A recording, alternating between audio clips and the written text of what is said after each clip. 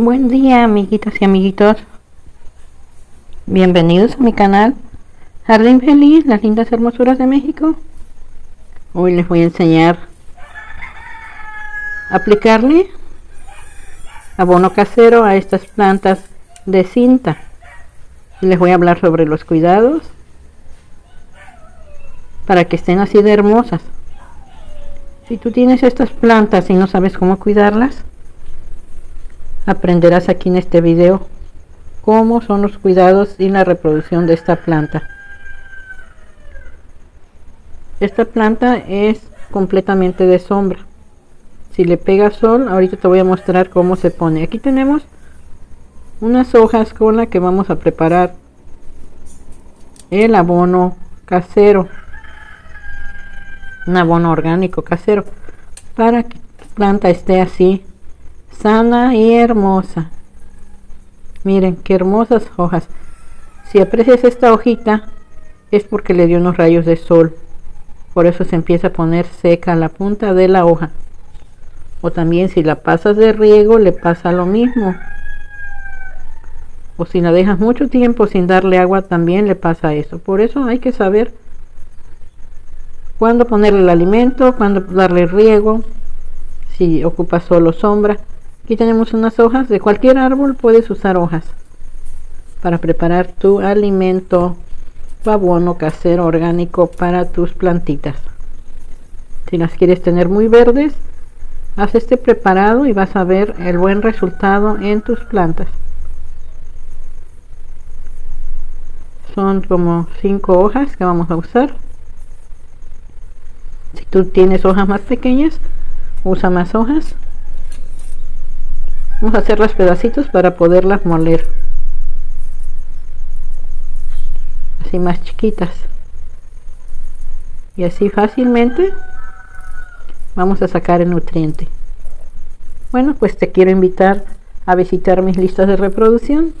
Ahí encontrarás todo el contenido desde que inicié con mi canal. Ahí te invito a darle dedito arriba, me gusta. Comparte mis videos con quien tú quieras o familia o amistades. Puedes compartir por medio de WhatsApp o Facebook. Pues vamos a moler estas hojas, le vamos a echar agua para poder sacarle el nutriente.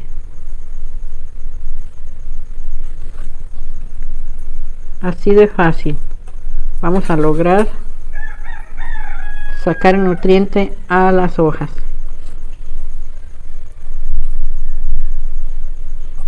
Esa planta le llaman cinta araña, listón. Esta también es de la familia de la mala madre, pero esta no echa hijos. Esta nada más así como la miras. Más bien dicho, no echa la vara donde echa los hijos. Echa hijos alrededor, se va reproduciendo más planta. Alrededor de la planta en la tierra va sacando más plantitas, más plantitas, pero no echa la rama larga donde salen los hijitos donde salen los hijos aéreos, la vara aérea. Esta la podemos reproducir por división de planta. Va saliendo más planta a un lado de la que ya tenemos y de ahí sacamos y podemos poner en otra maceta. A esta planta yo le doy riego cada tercer día porque la tengo a plena sombra y está en arena. Si tú la tienes en tierra, puedes darle el riego cada dos o tres días. Eso depende en qué cantidad de tierra o si tu tierra guarda mucha humedad. Tienes que estar mirando que ya seque la tierra para dar el siguiente riego. Miren, ya estamos sacando el nutriente. seguimos apretando un poquito más para sacar más nutriente. Así de fácil y rápido preparas tus abonos orgánicos caseros para tus plantitas. Te lo recomiendo, es muy bueno esta forma de alimentar tus plantas. Alguna persona me dijo, no se dice alimentar. Pues yo le digo alimentar porque ellas toman el alimento por la raíz, es como que están comiendo. Por eso digo que les alimento. Porque si no les ponemos esto, nuestras plantas están tristes, necesitan también estar tomando sus abonos, sean caseros o químicos. Porque en cada riego va perdiendo los nutrientes, los minerales que tiene la tierra o la arena y nuestra planta empieza a ponerse triste. Bueno, pues ya tenemos el alimento listo, miren. O el abono. Vamos a medir lo que son dos vasitos, un vasito para cada planta.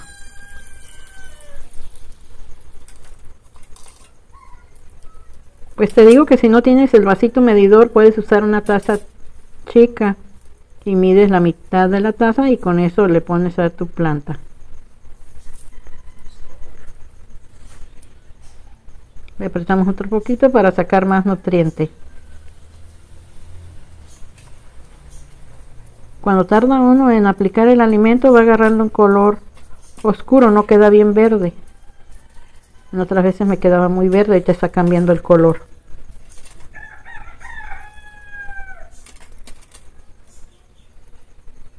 Quiero sacarle todo el nutriente para que así mis plantas estén más felices con este alimento.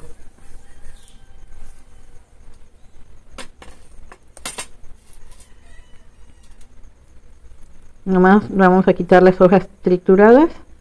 No le vamos a poner hojas. Si fuera otra planta de tallo leñoso, sí le podemos poner todo, los pedacitos de hoja. Pero esta no. Completamos el vaso con agua limpia.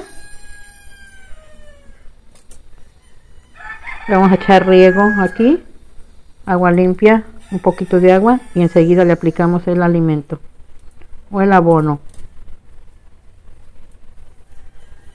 Así alrededor para que se nutra nuestra planta. Miren, así es como le aplico los alimentos en agua a mis plantas. Y se mantienen sanas y hermosas. Echamos agua en la otra. Son gemelas, las macetas iguales, las plantas también. Completamos el otro vasito para la otra planta. Puedes usar de cualquier hoja verde que tengas de cualquier árbol. Vamos a echar esta otra aquí alrededor también. Qué bueno. pues si te gustó esta enseñanza dale me gusta dedito arriba Miren qué hermosas. Bueno, esta no está tan hermosa. Esta ya se quemó con el sol. Le dio unos rayos de sol y se quemó. Por eso tengo que moverla donde le dé más sombra. Esta está dura. Tengo que cortarla con tijera. Ya se arrancó esta plantita.